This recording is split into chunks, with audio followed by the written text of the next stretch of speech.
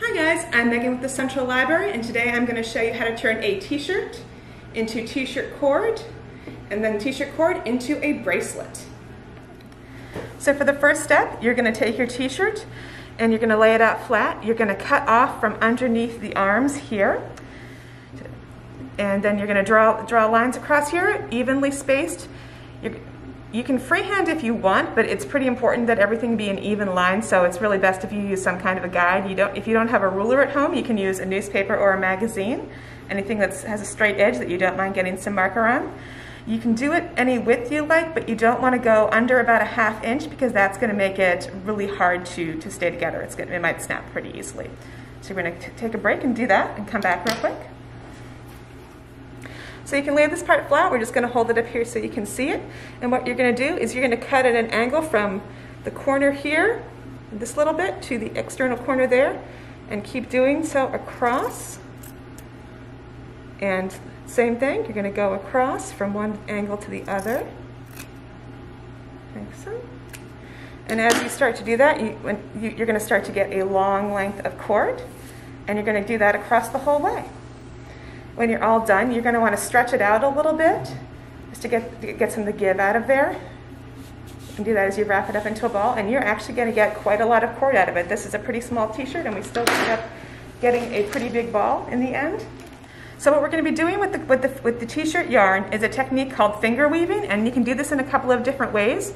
You can do it with two fingers, three fingers, or four fingers, and it's just going to change the width of it. So we're going to start show you guys three fingers, but you can adjust it however you want. If you want to play around with it and change your mind, you can. The t-shirt yarn is pretty forgiving, so you can mess up, you can change it, you can do whatever you want with it, and it'll probably it'll still be fine at the end.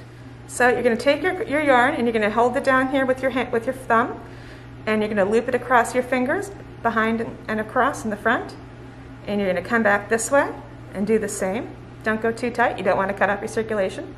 Oops, and then you're going to go forth and back and forth. And you're going to do that until you have two loops on each finger. You press them down there. Then you're going to loop one over the, from the bottom up and loop from the bottom up and loop from the bottom up so you start to get the stitching. This is going to this is going to take a little while to actually look like anything, so don't worry if it, do, if it doesn't look like it's starting to turn into a weave at first. It just takes a little time. So we're going to do that again and do that again. So you have two loops and same again loop over, and loop over, and loop over. You're gonna try and keep your tension kind of consistent here if you can, but like I said, you have a, you have a pretty forgiving piece of yarn here, so it's easy to mess up and undo and do it over again. And we're just gonna do this a few more times until you start to see what we're talking about. And loop over, and loop over.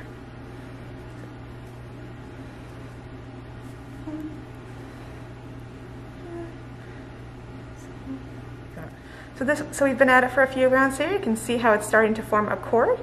So you can do this to any length you want. We're just going to show you how to finish it off. So you're going to take your so you're going to take your loop here, and you're going to drop it over the next finger over, and you're going to drop it over that, and you're going to do the same to the next finger, just working it over up and over. And for the last little bit, you're just going to loop the loose end through and tie it snugly, and you have a cord. One of the nice things about this is that it's very easy to fasten. A lot of the friendship bracelets can be kind of a pain to take on and off, but this one you can untie and tie really easily, and you can do a lot of other things with the cord as well. Thanks, guys. Have fun.